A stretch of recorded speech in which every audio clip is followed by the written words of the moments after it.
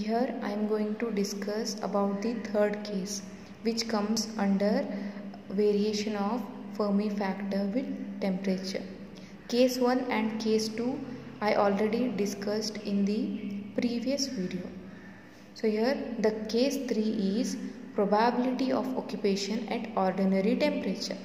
That means at ordinary temperature the value of probability remains 1 for energy is less than Fermi energy. It starts to decrease from 1 as the value E becomes closer to the EF.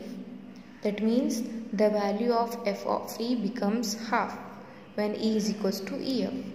So now first consider the equation that is f of E is equals to 1 by e to the power of e minus ef by kt plus 1. So now in case of e, e here you have to write ef. Here I mentioned. So here when e is equals to ef, it will become e to the power of 0. That is nothing but 1. So this part is 1.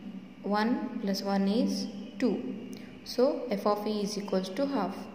So when energy is greater than Fermi energy, the probability value falls off to 0 rapidly. That means here the Fermi energy level represents the energy state with 50% probability.